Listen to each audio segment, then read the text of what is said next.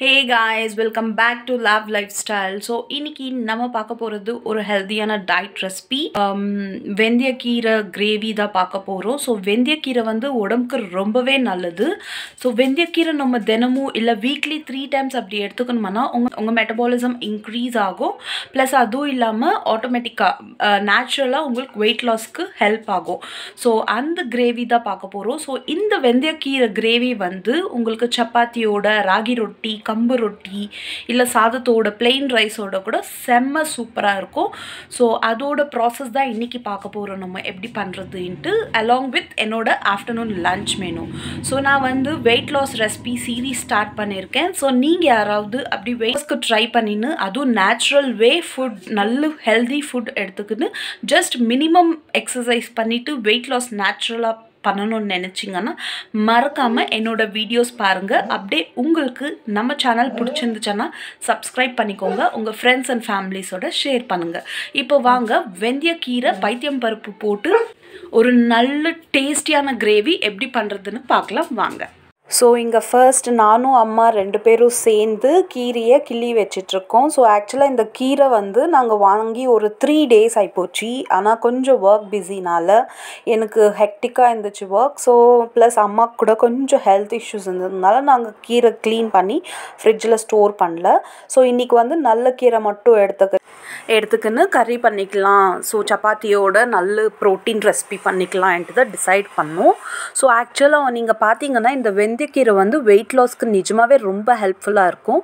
So நீங்கள் வந்து metabolism உங்களுக்கு கனி இன்க்ரீஸ் ஆகணும்னா நீங்கள் க்ரீன் டீ அதெல்லாம் நம்ம சாப்பிடுவோம்ல. ஸோ ஈவன் நம்ம ஃபுட் இன்டேக்கில் கூட இப்படி மெட்டபாலிசம் இன்க்ரீஸ் பண்ணலாம். ஸோ அதில் வெந்தயக்கீரை ஒன்று உங்கள் மெட்டபாலிசம் இன்க்ரீஸ் ஆகும். அப்புறம் நேச்சுரல் வெயிட் லாஸ்க்கு ரொம்பவே ஹெல்ப் பண்ணும்.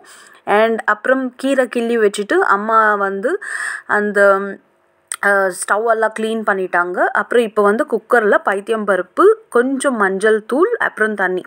இதை ஆட் பண்ணி விசில் வைக்கிறாங்க ஆக்சுவலாக பருப்பு நல்லா வேக வைக்கலான்ட்டு ஸோ ஆக்சுவலாக இந்த வெந்தயக்கீரை வந்து நம்ம எப்பயுமே பைத்தியம் பருப்பு தான் போட்டு பண்ணுவோம். டேஸ்ட் செம்மையாக இருக்கும்.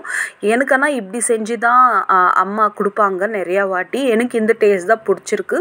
ஸோ நீங்கள் யாராவது வேறு டிஃப்ரெண்ட் வேல பண்ணுறீங்கன்னா கண்டிப்பாக ஷேர் பண்ணிக்கோங்க என் கூட. ஸோ நாங்களும் அப்படி ட்ரை பண்ணுறோம் பிகாஸ் எனக்கு ஒரு வாட்டி இப்படி பண்ணி கொடுத்து நான் சப்பாத்தியில் சாப்பிட்டப்போ எனக்கு ரொம்பவே பிடிச்சிருந்துச்சு.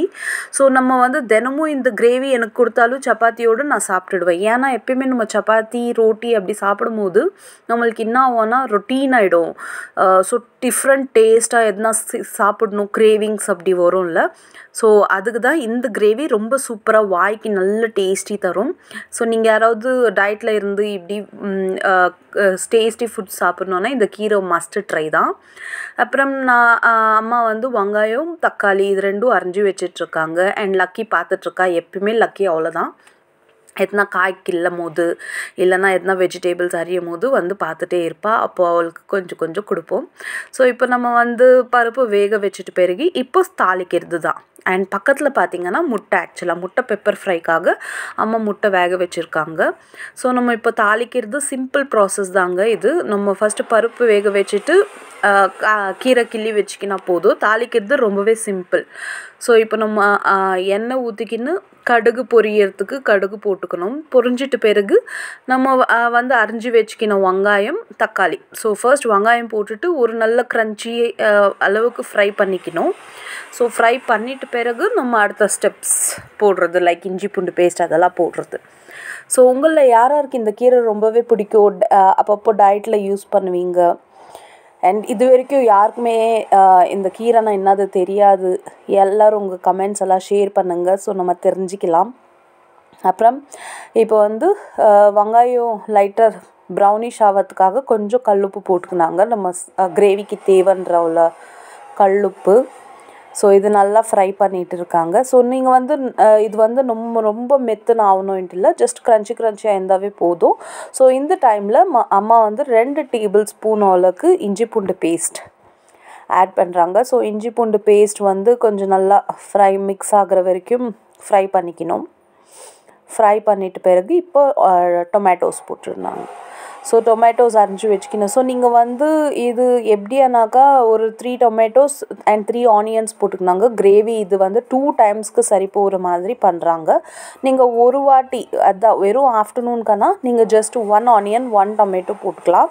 இப்போ நாங்கள் வந்து நைட்டுக்கும் இது வந்து பத்தலைன்னா நெக்ஸ்ட் எதனா சிக்கன் எதனா வாங்கி சைட் டிஷ்ஷாக பண்ணிப்போம். ஸோ அதனால் இப்போ டூ டைம்ஸ்க்கு இப்போ வந்து தக்காளி போட்டு ஒரு ரெண்டு நிமிஷம் கலரிட்டு பிறகு கருவேப்பிலை போட்டுக்கினாங்க கரைப்பில் போட்டுட்டு நல்லா மிக்ஸ் பண்ணி மூடி வச்சு மூடி வச்சு நம்ம மக்க வைக்கணும் இத்தா. ஸோ நீங்கள் நல்லா மூடி வச்சு மூடி வச்சு ஒரு பத்து நிமிஷம் உங்களுக்கு தக்காளி எல்லாம் நல்லா சாஃப்டாக ஜூஸியாக வெந்து போயிடணும். ஸோ அந்த அளவுக்கு நீங்கள் ஓப்பன் பண்ணி ஃபைவ் மினிட்ஸ் ஃபைவ் மினிட்ஸ் அப்படி ஓப்பன் பண்ணி ஓப்பன் பண்ணி மிக்ஸ் பண்ணி வேக வச்சுக்கணும் இது. ஸோ இது நம்ம தக்காளி ஆக்சுவலாக நல்லா வெந்துட்டு பிறகு தான் நம்ம வந்து இது போட போகிறோம் வெந்தயக்கீரை ஸோ இந்த ஸ்டேஜ் நம்மளுக்கு தக்காளி வந்து ஒரு செவன்ட்டி பர்சன்டேஜ் வெந்துச்சுல இந்த ஸ்டேஜில் வெந்தயக்கீரை நல்லா கிள்ளி வச்சு கழுவி வச்சுக்கின வெந்தயக்கீரை வந்து நம்ம ஆட் பண்ணிக்கலாம். ஸோ ஆட் பண்ணிவிட்டு நல்லா மிக்ஸ் பண்ணி மூடி வச்சு மறுபடியும் மூடி வச்சு மூடி வச்சு தான் நம்ம ஃப்ரை பண்ண போகிறோம் ஸோ அவ்வளோதான் இப்போ வெந்தயக்கீரை நம்மளுக்கு வேகிறது மட்டும்தான் பெண்டிங் வெந்தயக்கீரை வெந்துச்சுன்னா நீங்கள் வந்து பருப்பு நம்ம வச்சுக்கணும்ல குக்கரில் வேக வச்சு வச்சுக்கணும்ல பருப்பு அதை ஆட் பண்ணுறது தான் பெண்டிங் ஆக்சுவலாக ஸோ இது வந்து வெந்தயக்கீரை போட்டுட்டு நல்லா ஒரு ஃபைவ் மினிட்ஸ் அளவுக்கு வெந்து வேக வச்சுருப்பாங்க. ஸோ ஃபைவ் மினிட்ஸ் அளவுக்கு வேக வச்சுட்டு பிறகு நீங்கள் வந்து கிரேவி ரெடியாக இருக்கும் ஆக்சுவலாக நம்மளுக்கு. ஸோ மூடி வச்சு மூடி வச்சு நம்ம நல்லா மிக்ஸ் பண்ணிக்கணும். இந்த வெந்தயக்கீரை நல்லா பச்சை வாசனை போகணும். அதுதான் மெயின் இங்கே.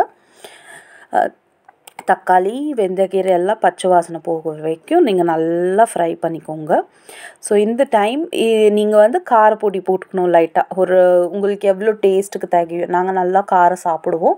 ஸோ நாங்கள் வந்து டூ டேபிள் ஸ்பூன் அளவுக்கு காரப்பொடி போட்டுக்கின்னு மிக்ஸ் பண்ணிவிட்டு நம்மளுக்கு இந்த காரப்பொடியும் போட்டு பிறகு லைட்டாக பச்சை வாசனை போகணும்ல. ஸோ அந்த டைம் அளவுக்கு நல்லா ஃப்ரை பண்ணிக்கோங்க.